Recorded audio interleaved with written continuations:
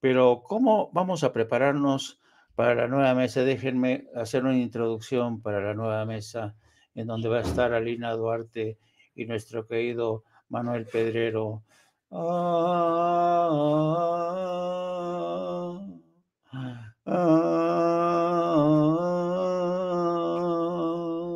Y ustedes se preguntarán, ¿por qué esta introducción tan eclesial, de tonos tan eclesiales? Porque hoy es miércoles de ceniza, jóvenes. Hoy es miércoles de ceniza.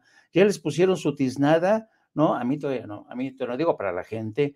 Pero nos llegan imágenes en directo de cómo ya Felipe Calderón se puso la ceniza. Miren ustedes ahí a Felipe Calderón. Le han puesto ya la ceniza.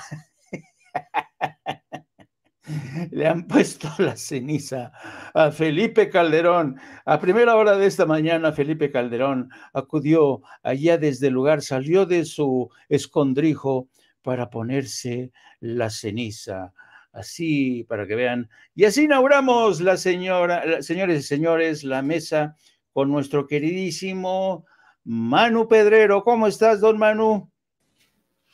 Maestro Jaime Hernández, un fuerte abrazo, privilegiado y feliz, feliz de estar aquí en Sin Censura, en nuestra, nuestra casa. Un fuerte abrazo a nuestro querido Toño que hace un esfuerzo extraordinario informativo y a usted, maestro, aquí conduciendo de manera excelsa esta edición de Sin Censura y por supuesto un abrazo del tamaño de Saturno a nuestra querida Alina Duarte, quien también honrado de compartir esta mesa con ella.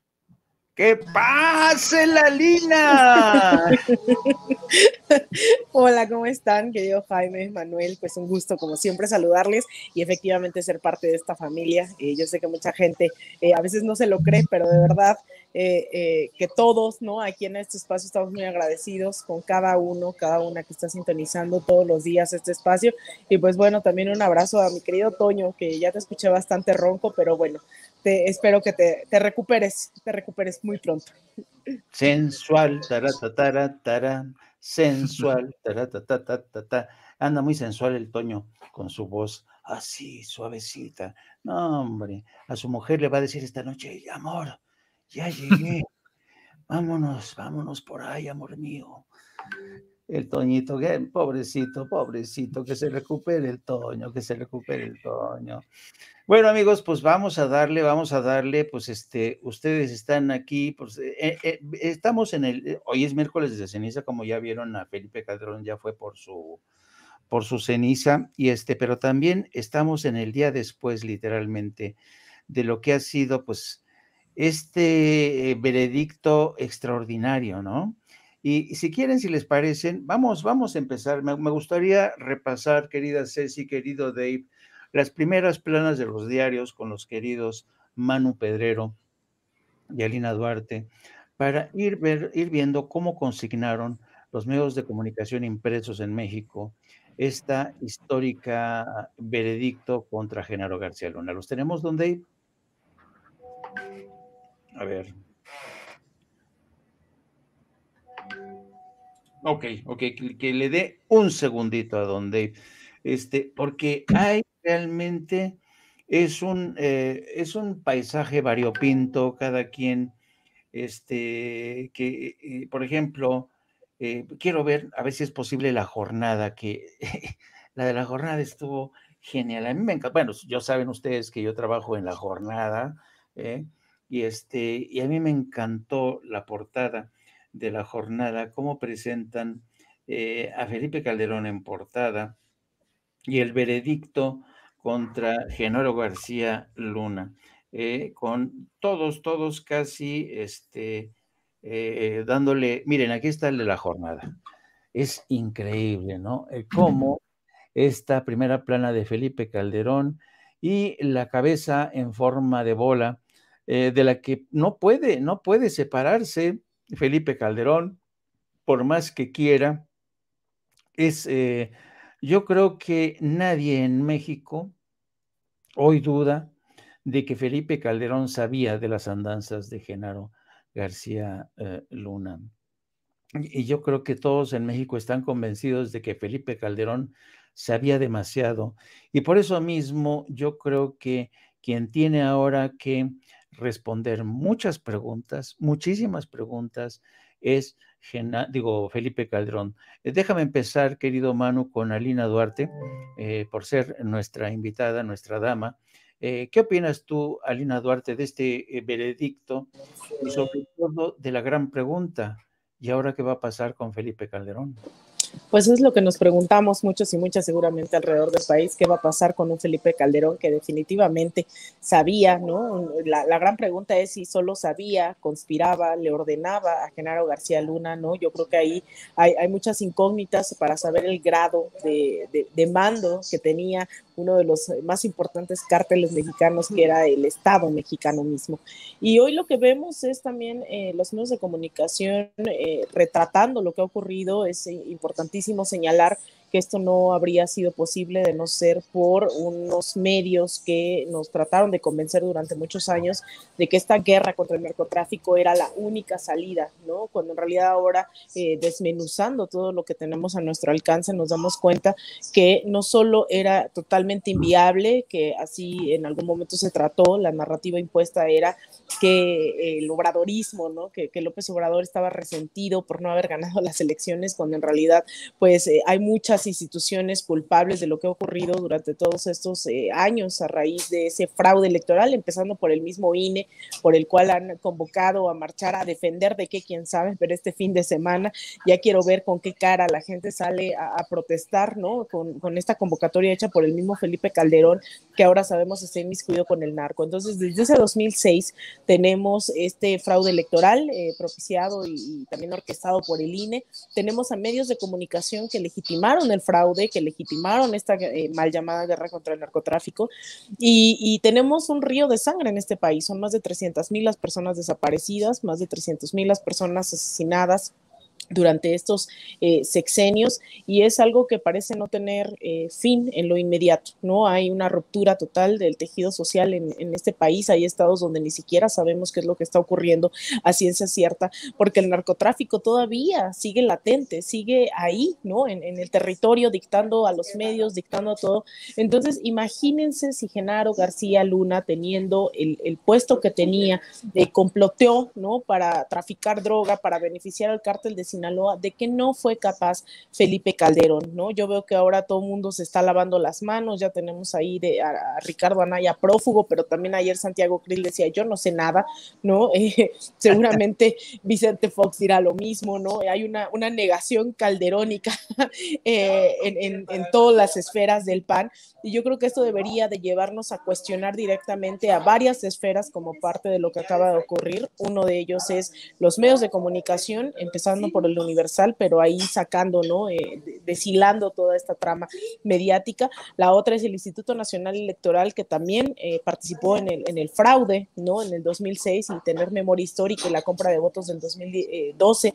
Y, por ahí, ¿no? Ir jalando eh, bastantes hilos hasta, pues, realmente mostrar un narcoestado ahí que se consolidó con, con, Felipe Calderón y que ahora evidentemente estos mismos que consolidaron este narcoestado eh, se, se, ponen a cuestionar ¿no? el cómo se desmantela eh, todas esas estructuras criminales en varios niveles. Entonces yo creo que sí es un día histórico, no hemos eh, parado con los días históricos, fue la nacionalización del litio, fue el juicio a Genaro García Luna y yo creo que todavía falta, ¿no? Y, y cerraría creo Jaime Manuel diciendo que hace ya eh, varios meses, más de un año, emprendimos este llamado juicio expresidentes y muchos se negaron a participar, ¿no? O a decir que, que, no hacía falta enjuiciarlos. Y yo creo que no solamente el tiempo nos dio la razón diciendo que lo que decíamos en estos mítines a lo largo del país no era una mentira, era totalmente verídico lo que denunciábamos, pero además que no estamos satisfechos con lo que se ha logrado, que queremos ir por más y uno de esos también implica al sistema poder judicial de este país que descongeló las cuentas de la esposa de Genaro García Luna el mismo día que se le condena. Entonces, tareas hay muchas, eh, todavía juicios por llevar a cabo hay muchos, tanto a los medios, al INE, eh, eh, los expresidentes, el sistema judicial, así que bueno, la tarea todavía va para largo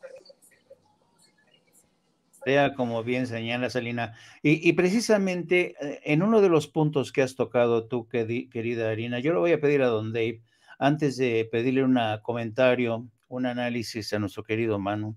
Ponme el video número 33, querido Dave, a propósito justamente de lo que mencionaba Alina, de la marcha del próximo domingo.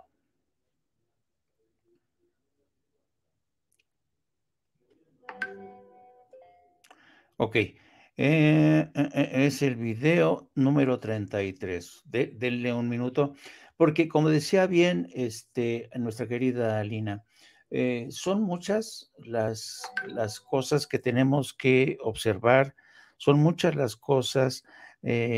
ah, ok, ok, no te preocupes, Dave.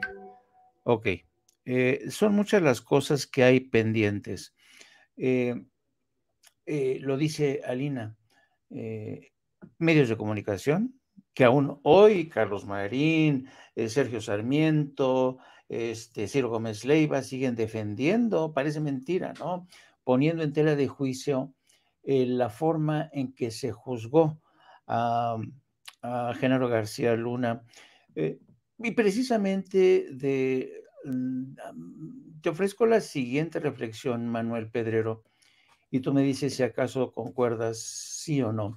Yo sostengo que México necesita de una regeneración de los medios de comunicación. ¿Y quién puede regenerar esos medios de comunicación?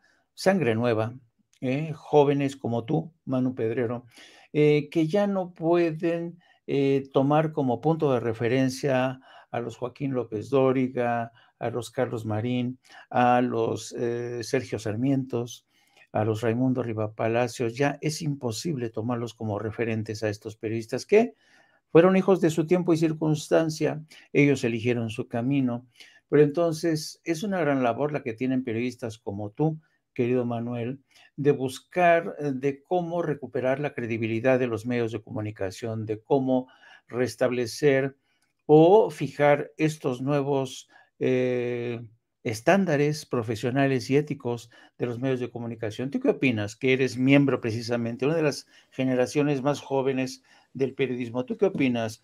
Eh, ¿Tú crees que serán ustedes capaces de sacar el buey de la barranca? Pues eh, más que un tema de generaciones, eh, estimado Jaime, yo lo veo como un tema de sociedad. Nunca es tarde y no desde necesariamente este lado de la trinchera de informar, sino también de ser informado, que ese es el gran, el gran sector que vale, que se trata de la audiencia. Y es que yo creo que durante todo este tiempo ha sido el dogma de que ellos pensaban en el rating y hicieron, hicieron a un lado a las audiencias. Si uno se deja llevar por eh, las porcentualidades, por la aritmética, eh, al final también está perdiendo la esencia de lo que es el periodismo en sí. Y el periodismo, de otra manera, yo no lo he podido entender más que un servicio, más que un acto de mayordomía.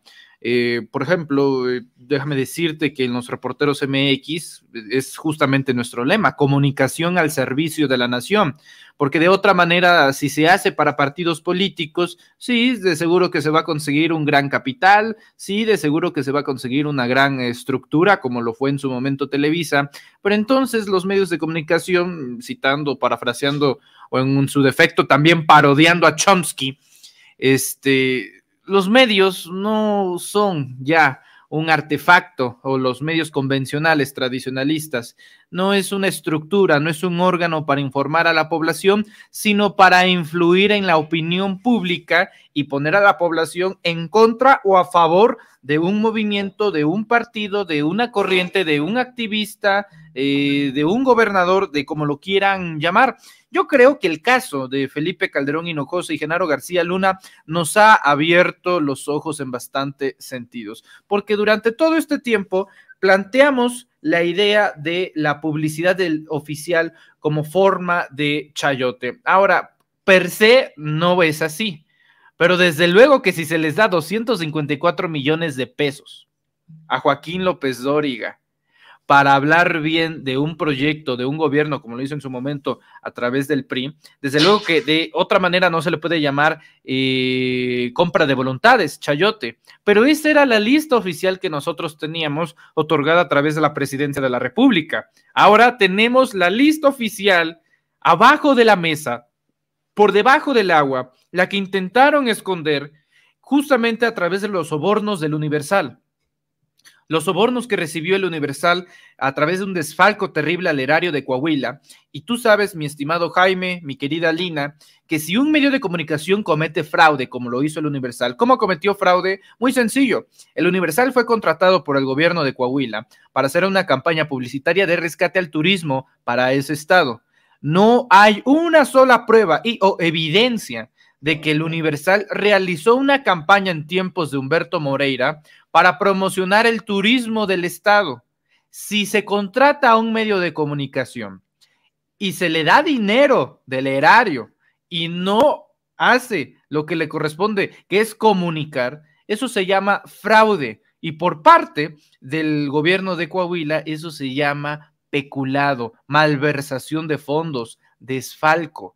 Aquí vemos complicidad de ambas partes y en torno para limpiar la imagen de Genaro García Luna lo hace creo que un poco más triste, lo hace un poco más endeble. Tú sabes, Jaime Alina, que si un medio de comunicación comete fraude, instantáneamente el castigo correspondiente debe de ser vetado permanentemente de cualquier competencia de oportunidad para que participen en contratos de publicidad oficial. Justamente como el gobierno federal castigó a la revista de Enrique Krause, Letras Libres, de participar en algún aspecto de oportunidad para publicidad oficial. Sí existe, a ver, no nos hagamos tontos, sí existe la publicidad oficial, pero naturalmente tiene que existir porque más allá de las percepciones que podrían tener eh, visiones diferentes de cómo se trata la publicidad oficial, uno de las obligaciones, una de las obligaciones del gobierno federal son los principios de la máxima publicidad, más que un derecho, es una obligación de nuestros gobernantes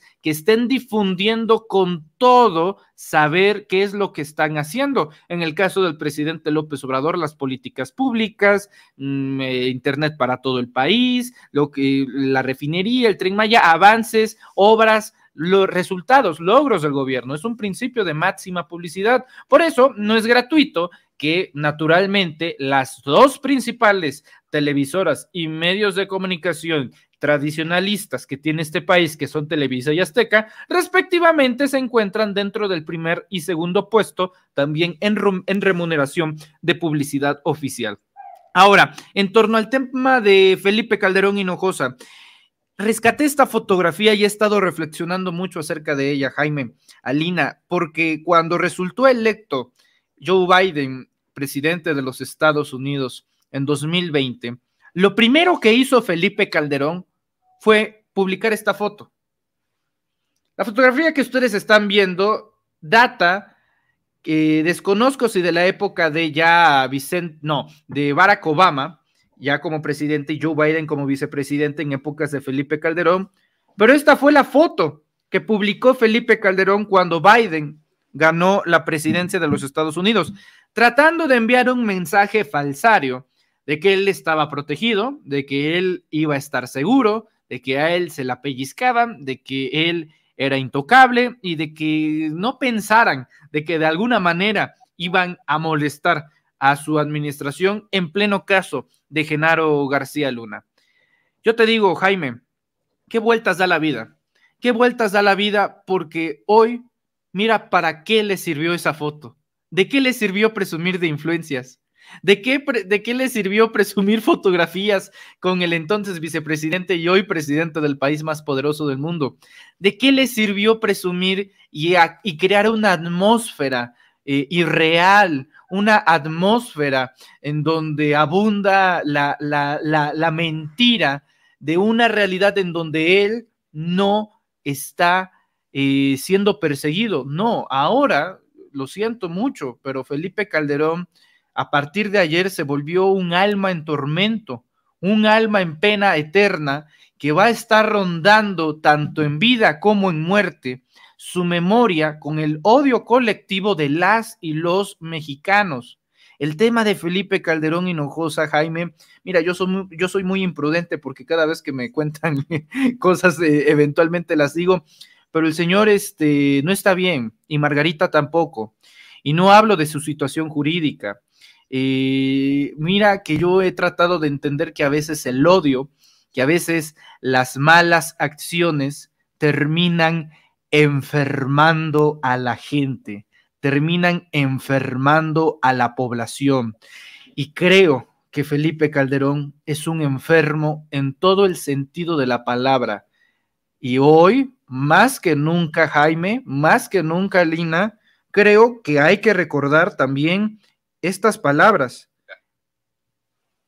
No quisiera especular, Carlos, y además a mí me parece muy importante, no solo el tema del principio de presunción de inocencia, lo que sí es cierto y describo ahí en el libro de Decisiones Difíciles es que si es condenado por las cosas que se le acusa, por supuesto que yo lo considero una verdadera traición y una deslealtad y ahí asumiré mi parte responsable de haberlo nombrado. Eso lo dijo hace dos años, no tres. Tres años. Voy a asumir mi parte y mi responsabilidad por haberlo nombrado si resulta culpable porque, en efecto, una deslealtad y un traidor a la patria.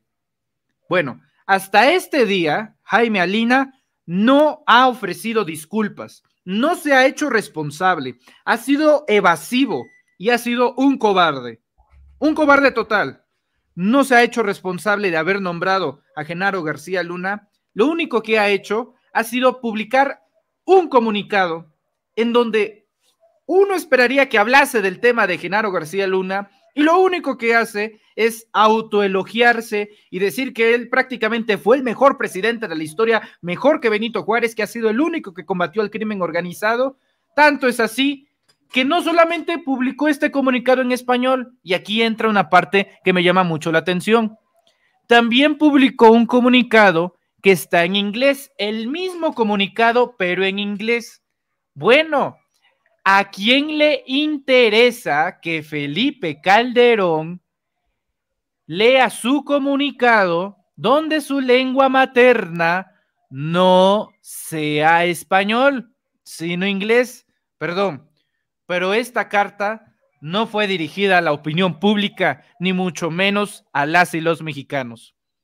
Esta carta, Jaime Alina, fue enviada a Washington y en una de esas también es una advertencia porque el núcleo de cohesión de ambos gobiernos está en rápido y furioso, en el plan Mérida.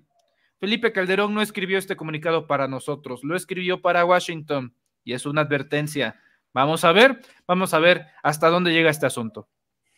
Interesante, querido Manu. Eh, y yo quisiera ahora sí pedirle a nuestro querido Dave eh, que ponga el video en el que el presidente hace alusión a la próxima marcha del domingo, que no podemos quitarle la, la mirada y la atención que se merece, porque yo creo que las marchas, para, para que sean marchas auténticas, tienen que estar provistas de esta suerte de pegamento, lo que une a la gente de verdad, la convicción, que vale la pena salir a la calle.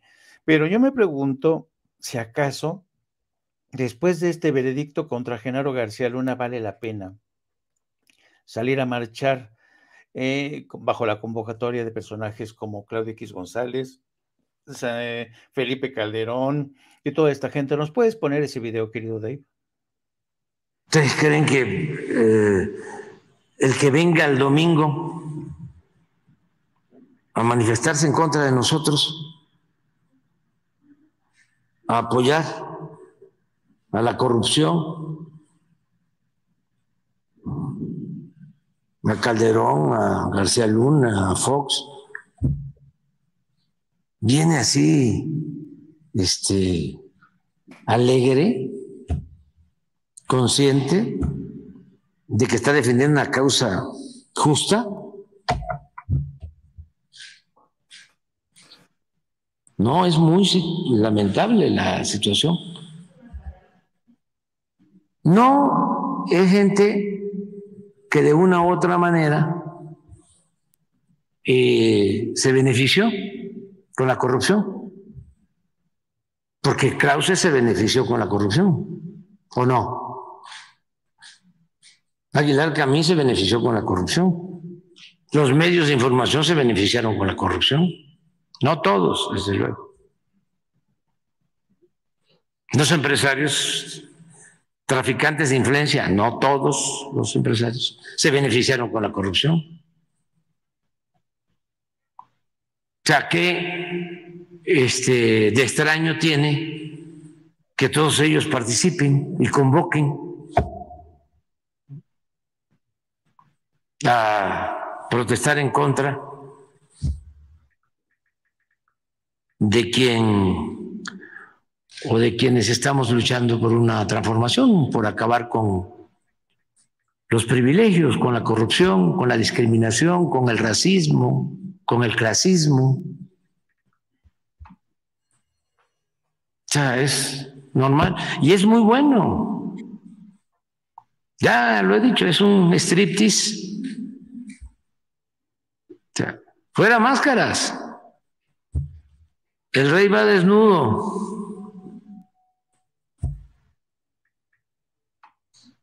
A ver qué va a decir Krause sobre García Luna o Aguilar Camín.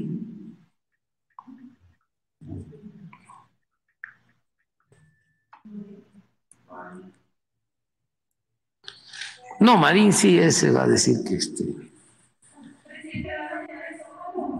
No, no. Bueno, pues ahí vemos cómo el presidente habla de en qué condiciones van a acudir aquellos que decidan hacer eh, acto de presencia en la marcha del próximo domingo. Realmente están, está el campo eh, para que salgan millones, como promete la oposición, para denunciar eh, que el gobierno y Morena quieren desaparecer el INE o para denunciar que está en marcha eh, una tiranía o para defender la inocencia de Genaro García Luna. Yo, vamos a ver cómo, cómo se produce esa marcha, vamos a ver cuál va a ser su asistencia.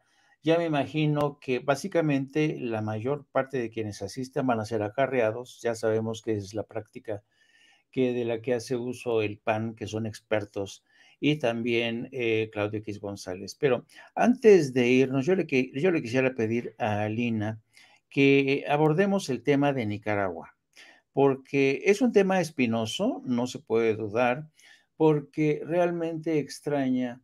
En un principio, cuando ayer el presidente escurrió el bulto y no respondió al tema de Nicaragua cuando ella estaba terminando su conferencia de prensa, uno dice, bueno, ¿por qué ¿por qué no condena a México lo que a todas luces es condenable? Porque no puede ser que todos aquellos que lucharon y trabajaron para derrocar a Anastasio Somoza, ah, que estuvieron eh, hombro con hombro con, con Daniel Ortega, pues ahora eh, hayan sido primero hechos prisioneros, después desterrados, algunos, como a Sergio Ramírez, se le quite la nacionalidad, es de locura, es de locos, ¿no?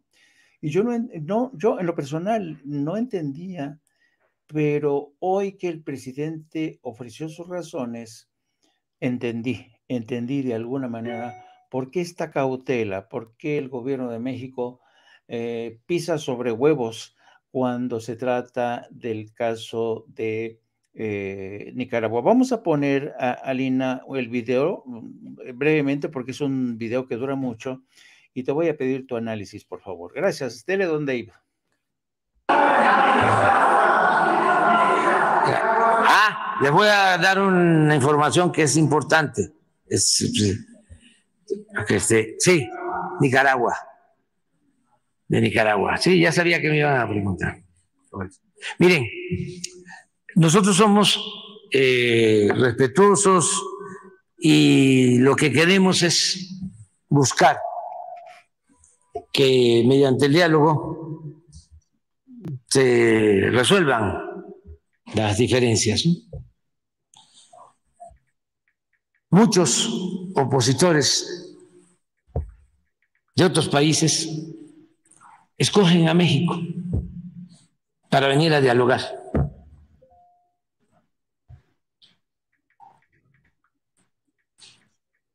Porque eh, es un país que les garantiza eh, libertades.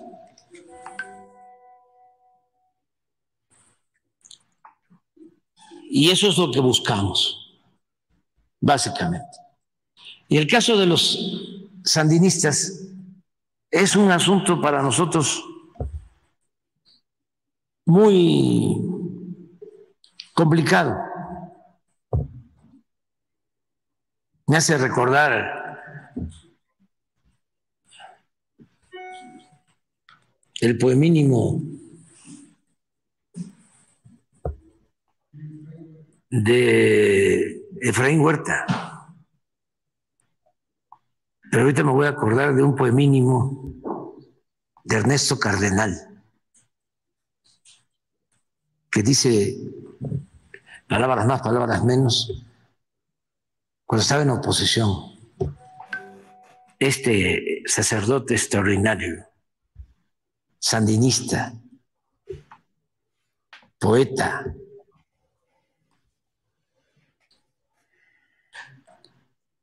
me mandó una felicitación que la guardo cuando triunfé,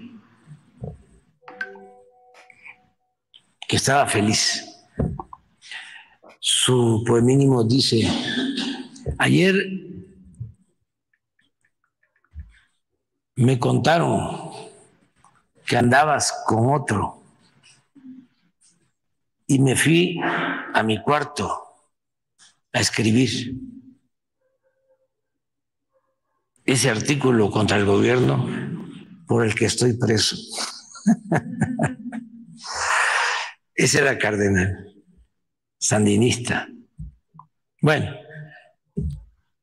eh, todos de una u otra forma eh, vivimos lo que fue el movimiento sandinista. Eh,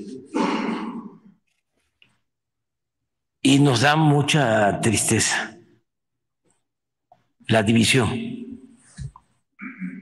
que se produjo.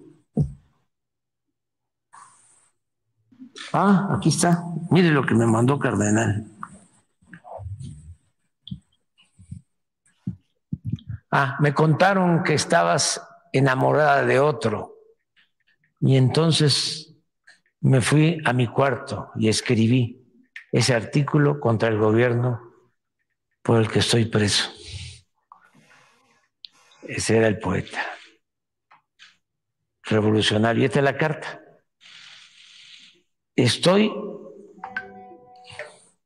estático por la noticia de un triunfo que es el triunfo de México, de nuestra América Latina y en fin, de nuestro planeta. Se me mandó de Managua, 4 de julio del 18.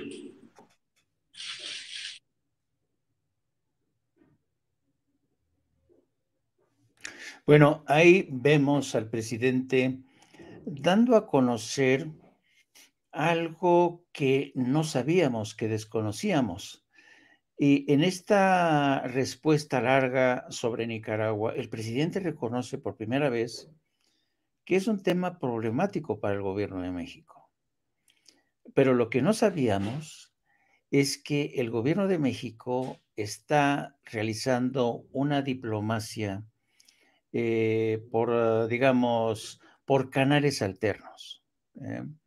Una diplomacia de la cual no sabíamos eh, este tipo de prácticas son muy comunes en el manejo de la diplomacia.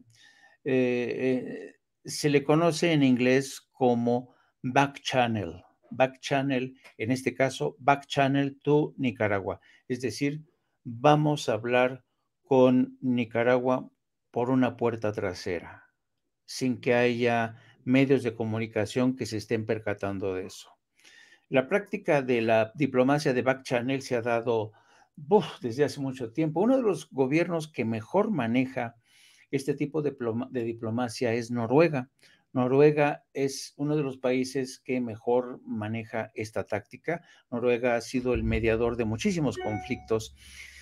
Y la verdad es que antes yo de conocer este hecho, es decir, que México estaba negociando o pidiéndole respetuosamente al presidente de Nicaragua que por favor liberara por razones humanitarias a algunos de los más destacados líderes que combatieron al lado de, Daniel Ortega, que incluso le ofreció a la comandante Dor, eh, ay, ¿cómo se llama? Ahorita me acuerdo, ahorita me acuerdo, que nosotros la entrevistamos, nosotros la entrevistamos el mismo día que fue capturada nosotros tuvimos la oportunidad de entrevistar a la comandante, la comandante creo número dos, era una, es una mujer muy brillante, una mujer muy combativa, que ha sido desterrada a Estados Unidos, a Estados Unidos.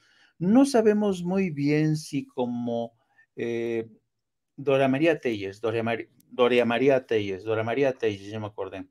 México eso eh, le envió una carta a Daniel Ortega abogando en nombre de Dora María Telles, que estaba maltrecha de salud. Dora María Telles es una mujer incansable, infatigable, admirable en muchos sentidos, una mujer muy brillante, una mujer muy bragada. Y cuando nosotros la entrevistamos, antes de que fuera apresada, ella nos reconocía que a veces es difícil, pero que ella siempre pensaba que ella se, iba a mantener en la lucha porque al final de cuentas lo que estaba de por medio valía demasiado la pena. En este caso, la democracia de su patria, Nicaragua.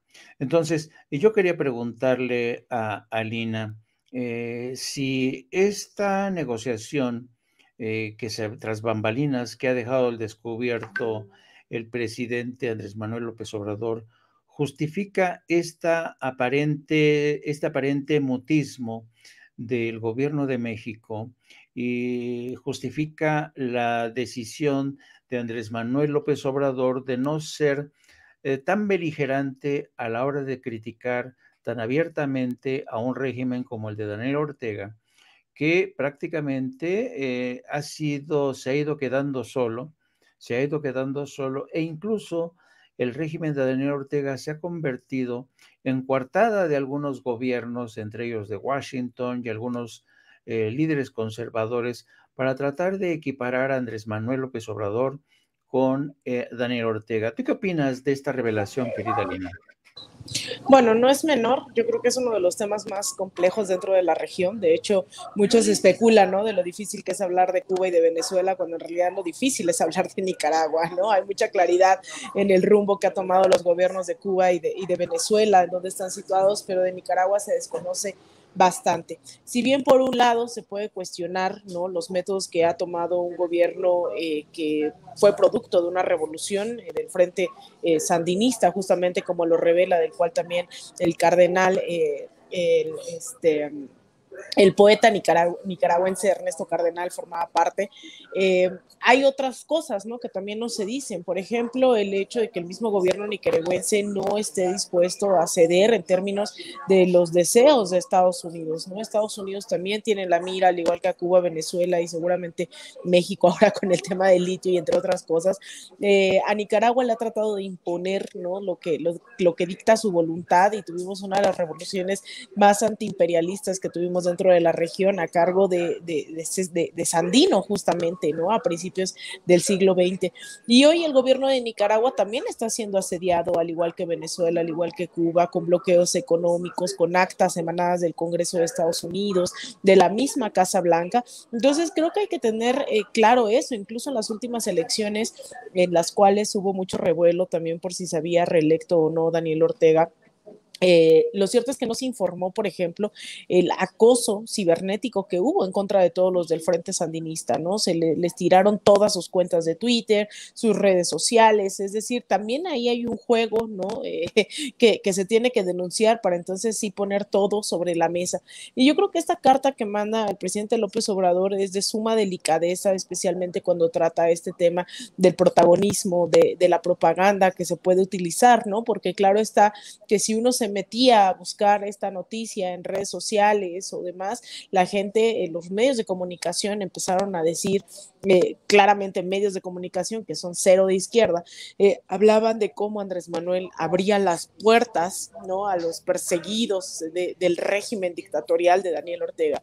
Y cuando hemos visto lo que ha hecho el Washington Post, el New York Times, Los Angeles Times en contra de México, diciendo que aquí no hay una dictadura, The Economist, ¿no? todos estos medios de comunicación, entonces sabemos que no necesariamente están retratando toda la fotografía que hay cosas que tienen que decidir única y exclusivamente los pueblos, sea el pueblo mexicano, venezolano, cubano, nicaragüense, y en este caso los medios de comunicación toman abierta partida en contra del gobierno de, Daniel Ortega. Entonces, ahí son cosas que tenemos que también eh, ser muy cuidadosos porque cualquier cosa que nosotros empecemos ¿no? A, sugerir que se debe de criticar, pues eso, eso nos puede caer como un boomerang, ¿no? Porque al final eso parece legitimar la intervención directa de Estados Unidos, de la OEA, de, la CIDH, de todos, bueno, de la CIDH es a veces una excepción, ¿no?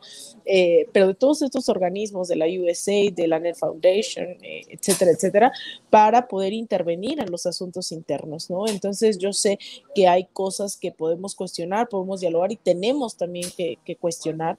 Sin embargo, a los ojos de los medios de comunicación no necesariamente hay estos eh, claroscuros. Y ahí es en donde creo que esta carta que le envió el presidente López Obrador a Daniel Ortega a propósito de eh, pues cuestiones de salud de una exguerrillera sandinista, pues creo que eh, eso habla bastante de la, de la política de la doctrina Estrada que se ha impulsado durante esta administración, que se había ido perdiendo poco a poco. Yo lo he dicho, la doctrina Estrada no nace con, el obradorismo, la doctrina Estrada nace incluso durante el priismo y esa se había venido respetando, salvo los gobiernos del PAN que eh, tendieron a, destrozar la política exterior de este país y que hoy se ha retomado. Y no solamente se le ha dado asilo a, Evo Morales o a, personajes, ¿no? La familia de Pedro Castillo, también se le ha dado asilo durante esta administración a miembros de la oposición venezolana.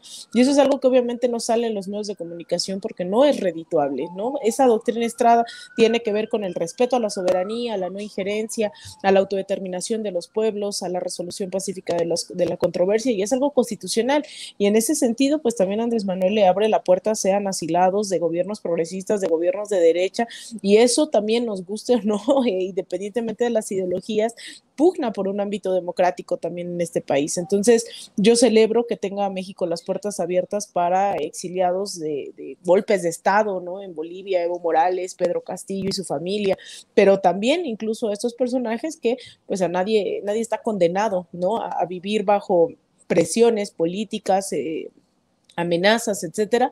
Y yo creo que eso se reitera nuevamente durante este, este mensaje que manda hacia el, gobierno de Nicaragua, que obviamente los medios, insisto, lo han tomado a conveniencia, dependiendo de las líneas editoriales que se registren, pero yo creo que hay que celebrar que en estos momentos, hoy nuevamente, esta política exterior y la doctrina Estrada sigue siendo un eje, ¿no? De, de presumir incluso a nivel internacional.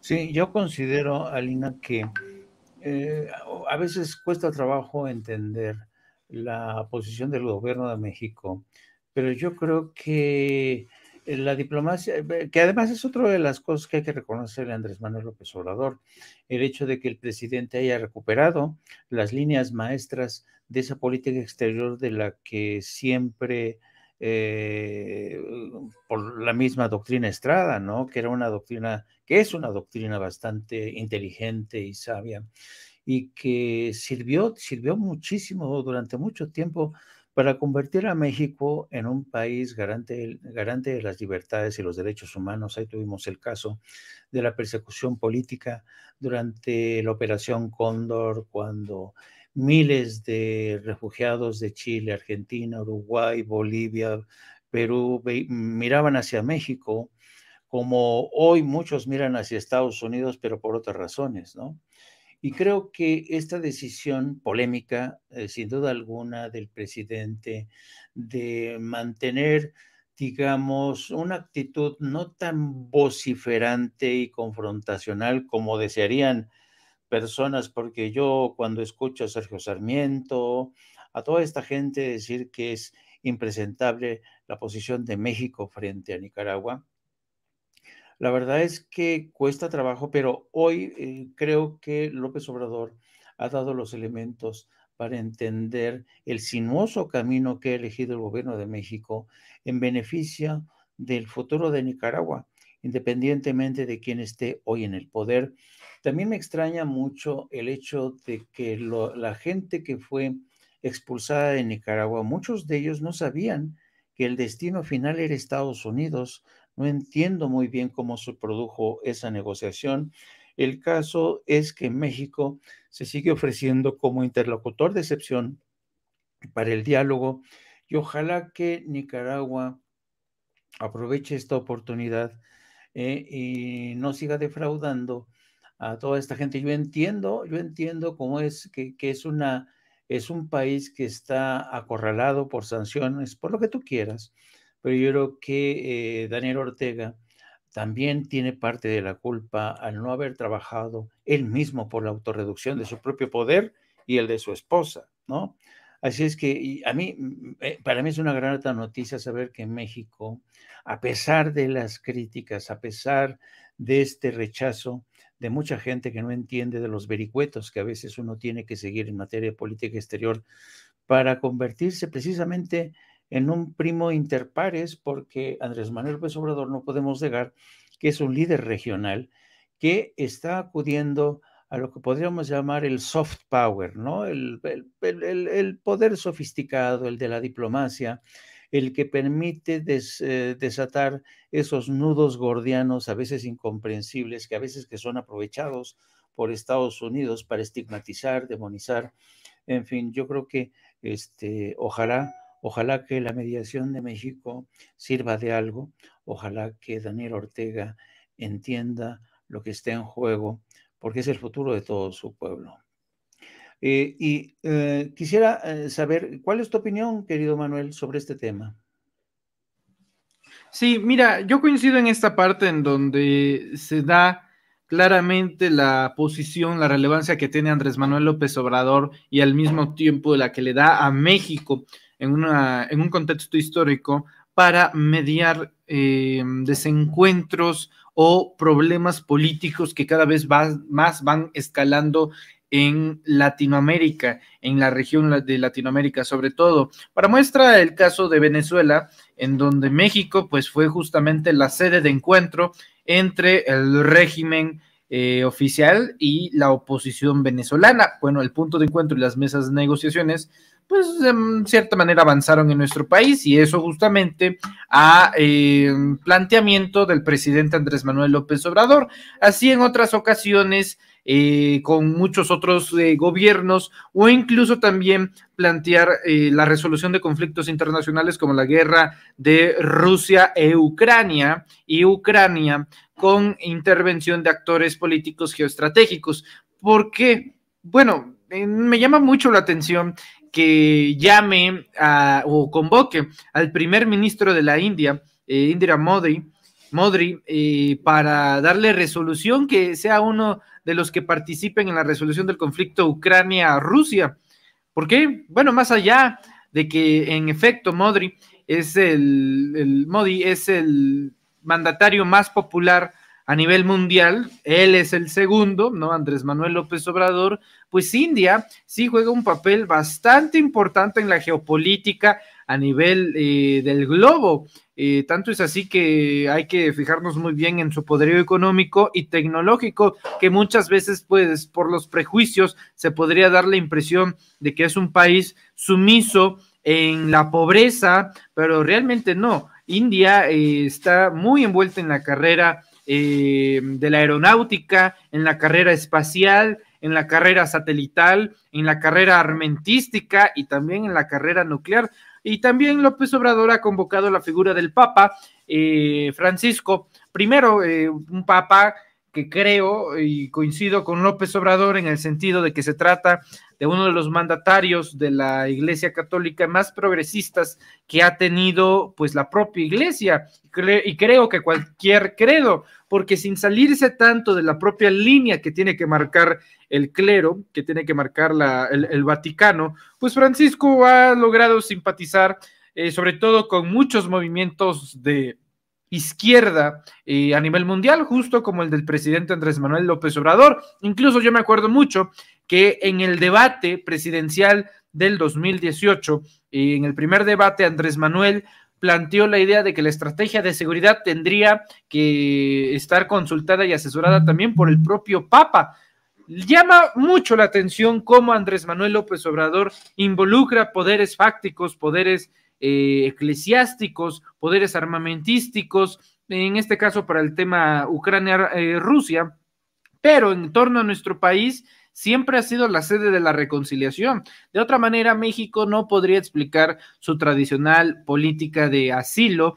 Eh, olvidémonos, por supuesto, del ejemplo predilecto y grandioso como fue el del general Lázaro Cárdenas con la dictadura española eh, de Franco y todo el exilio eh, que sufrieron los hermanos españoles y que de ahí salieron los grandes o muchos de los grandes intelectuales que hoy en día lograron eh, fusionar las dos culturas, la española y mexicana, pues dándonos a grandes intelectuales. Ustedes ya saben quiénes son. También en el caso de Chile, en el caso de la dictadura de Videla, eh, de Pinochet, México siempre, siempre se ha decantado por la resolución de los conflictos y sabe perfectamente bien que cuando hay síntomas de una dictadura, fácil y sencillamente se rompen los lazos diplomáticos, se cortan, se dinamitan los puentes de comunicación. Tal es el caso de que cuando Pinochet eh, llegó al poder a través del asesinato del doctor eh, Allende,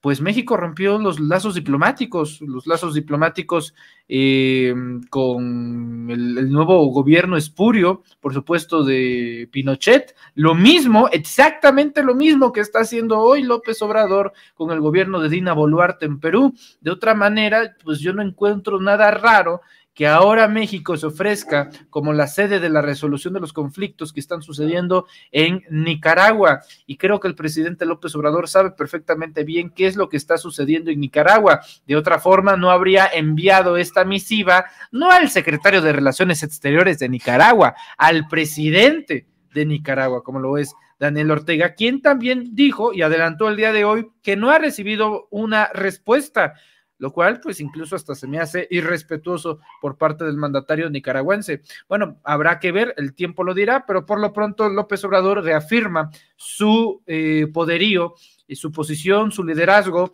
en la región de Latinoamérica.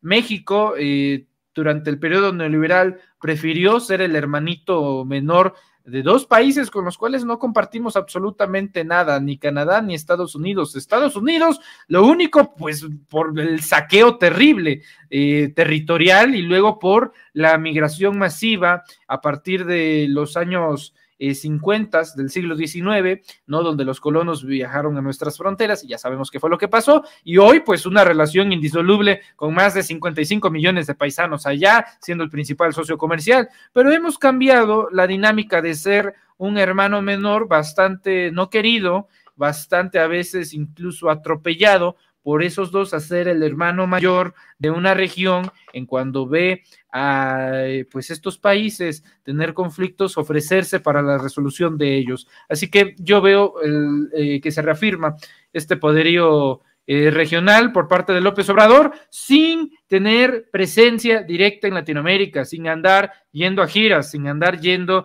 a estas conferencias o reuniones de las alianzas regionalistas, algunas de otros países, unas respondiendo a intereses económicos, otras respondiendo a, intereses políticos, incluso teniendo pues obviamente la presidencia de la CELAC. Entonces, más allá de eso, eso es lo que yo opino, estimado eh, Jaime.